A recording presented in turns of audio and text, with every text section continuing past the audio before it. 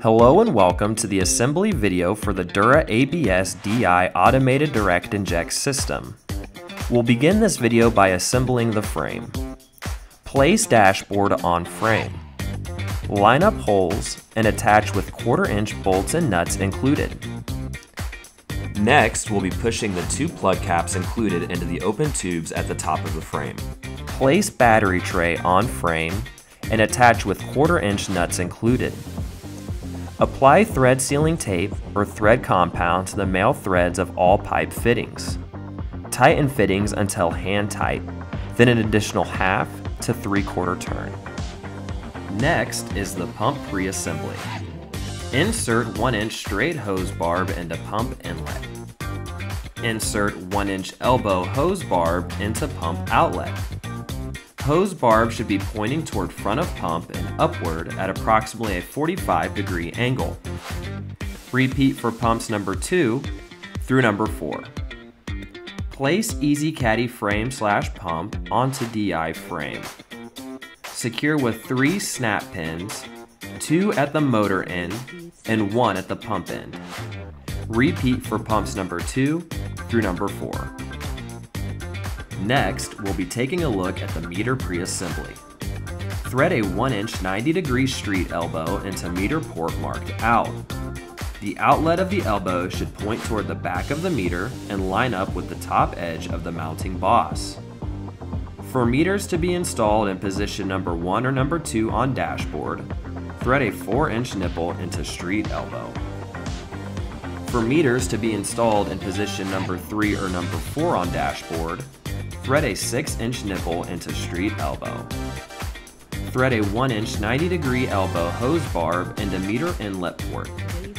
The hose barb should line up with the top edge of the mounting boss on the back of the meter just as the outlet plumbing. Repeat for the rest of the meters. Here's how to install meters onto dashboard. Using the 4 Torx T20 screws provided for each meter, attach the meters to the dashboard. Start all four screws in each meter before tightening any screws in that meter. In positions number 1 and number 2, a drill slash driver can be used for all four screws. In positions number 3 and number 4, a drill slash driver can only be used for the top two screws. A small right angle driver must be used for the bottom two screws. The screws need only to be snug do not over tighten them. Plug in the short extension cord on the inlet side of the meter, and then connect the extension cord to power supply cord to pump. Now to install the three-way valves. Attach the three-way ball valve to the nipple on the outlet side of the meter. The inlet of the valve is identified by the hexagonal shape around the threads. The two outlets of the valve should point up and down after tightening. Install the cam lock adapter into the top outlet of the valve, then add the cam lock cap. Install a 1 inch straight hose barb into the bottom outlet of the valve. Repeat for the remaining meters. Next, we'll be building the manifold system kit.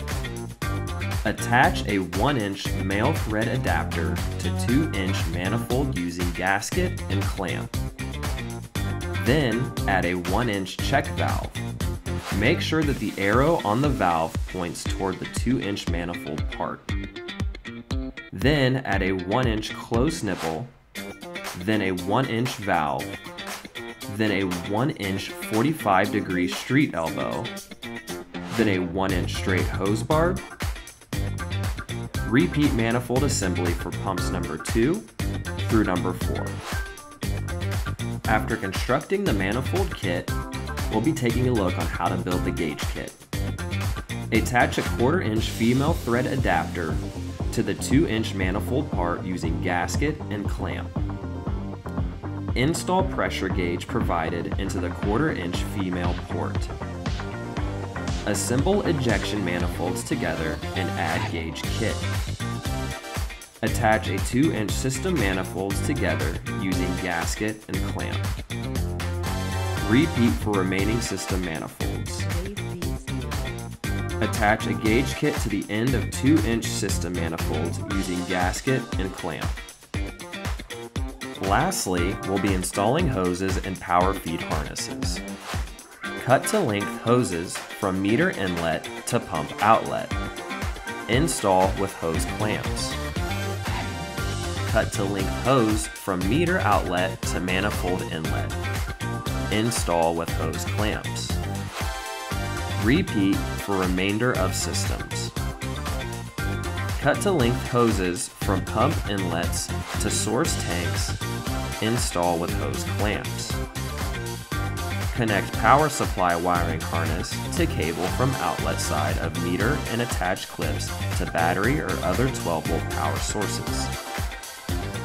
Thank you so much for watching. I hope you are successfully able to assemble your Dura ABS DI automated direct inject system.